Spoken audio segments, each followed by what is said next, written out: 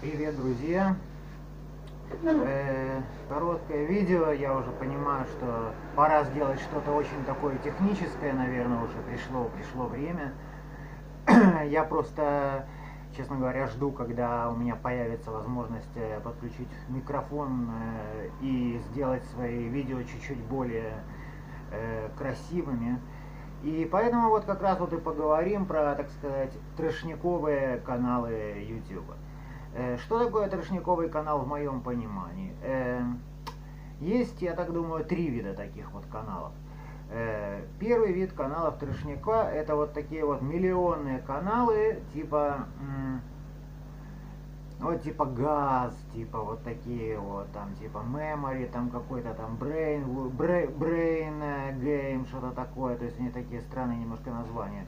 И там они дают такой вот контент, типа 5 самых крутых, там, не знаю, видов коров в Индии, там, да, или там 8 самых злых бандитов э, э, времен там 19 века. Причем забавно, что принципе, такие каналы, вот смотрят их там действительно миллионы, сколько там лайков и дизлайков непонятно, комментов бывает по несколько тысяч. Одно только интересно, это вот это вот странное дежавю, э, когда ты смотришь и ты понимаешь, что ты это уже где-то видел. Другой стороны, тебе же в YouTube показывается, где то что видел и как это ты видел. Э, и ты вот смотришь, вроде же видел, как бы, а нема этого всего, нету этого, как бы, что ж такое, короче, получается. Дурь. А, вот. И, значит, это первый вариант трешника, то есть там пиши, не пиши, ты будешь там только разговаривать с какими-то там, я не знаю, единомышленниками, которых ты там найдешь. Э, второй вариант трешника – это каналы типа моего. Да-да-да, почему? Потому что я, э, в принципе, ну, ютубер уже, можно сказать, со стажем, но я до сих пор еще вот у меня нету какой-то вот специальной аппаратуры, там нету каких-то вот нарезок каких-то, я не вставляю там никакие э, ролики, то есть в этом плане даже, наверное, наиболее примитив, примитивисты, как бы, они тоже этого, в принципе, не делают, то есть, э, ну вот возьмем, к примеру, канал, допустим, э, ну, вот того же Викернеса, да, то есть он э, немножко там как-то что-то какие-то фотки там покажет, еще что-то, но там монтаж такой, очень на уровне там чики-пыки и все.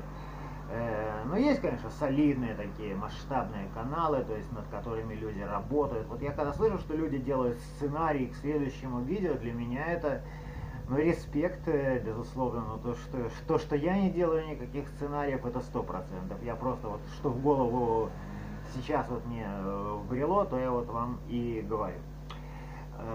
Третий вид трешника – это вот эти вот каналы, которые, вот знаете, как бы вам сказать,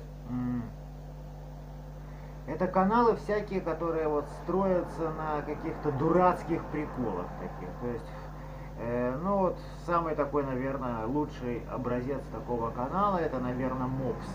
То есть вот какая-то есть такая личность по имени Мопс, э, какая-то есть легенда насчет этого Мопса, то есть кто он такой, что якобы он там какой-то там якобы супер криминальный авторитет и все такое там, и, короче, в общем, контент весьма соответствующий. К этому не относятся каналы типа Грибобас, которые сделаны очень толково с точки зрения э, их э, стримов и с точки зрения их э, подачи.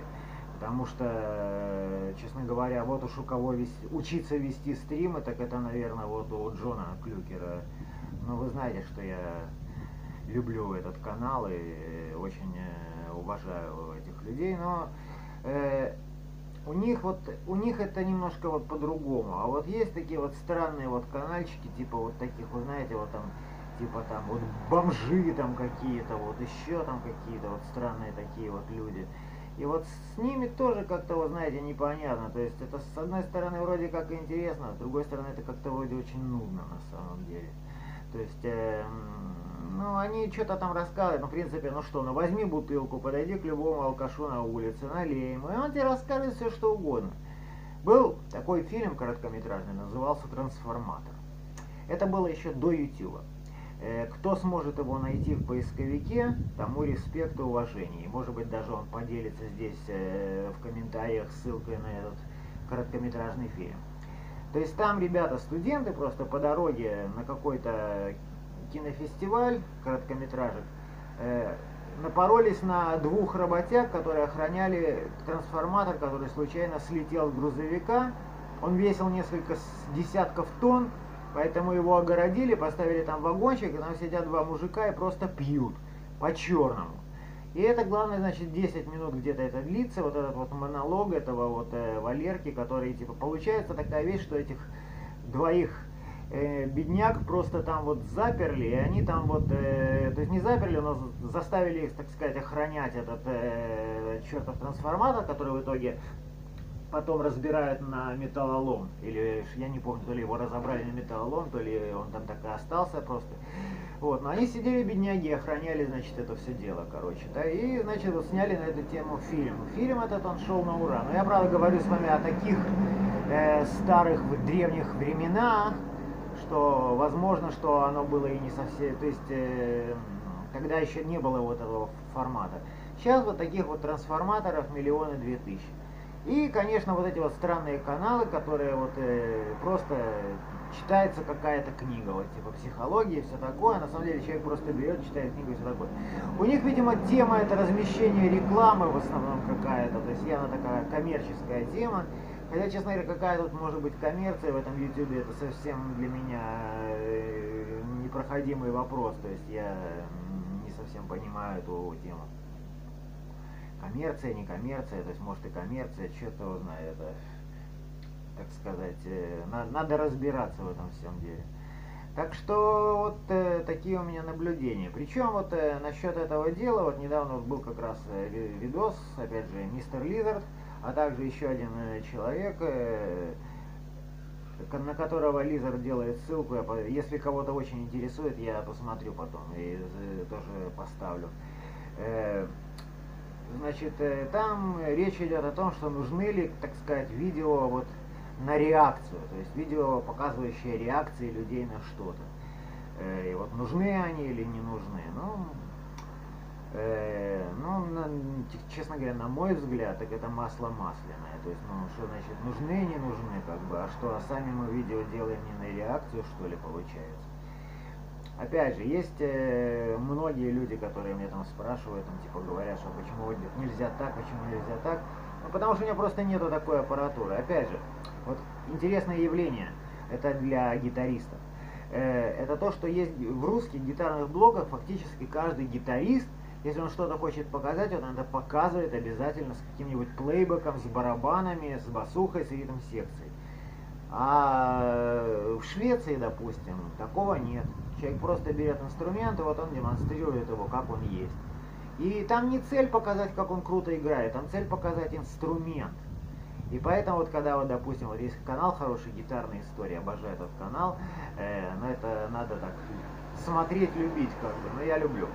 Вот. И там хороший канал, но все время ему пишут, что типа играть тебе надо так-то, так-то, так. Да какая разница, как ему играть, ребята? Он же вам э, не это хочет показать, какой он крутой. Он вам рассказывает историю какой-то гитары, как, как бы мнение об этой гитаре и все такое. То есть почему бы и нет, собственно говоря, ради бога. То есть э, это наоборот, это хорошо, что он это делает, но он же себя не показывает как супер гитариста, как бы. Он просто рассказывает вам вот эти вот истории, которые, ну, мне лично очень интересно это смотреть.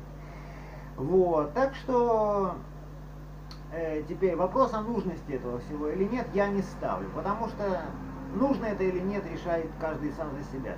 Просто я рассказываю, что такое явление есть, а что с ним делать хорошо оно, плохо, вопрос это ответ, это требует оно решения или не требует оно решения, это уже давайте в комментах дискутировать.